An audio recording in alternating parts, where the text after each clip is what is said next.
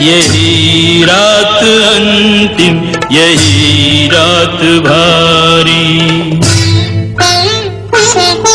बस एक रात की अब कहानी है सारी।